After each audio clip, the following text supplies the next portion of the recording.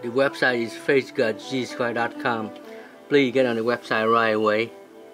Learn and at the same time take good action because our time is running out. This is the website faithgodsquare.com. Thank you for your time.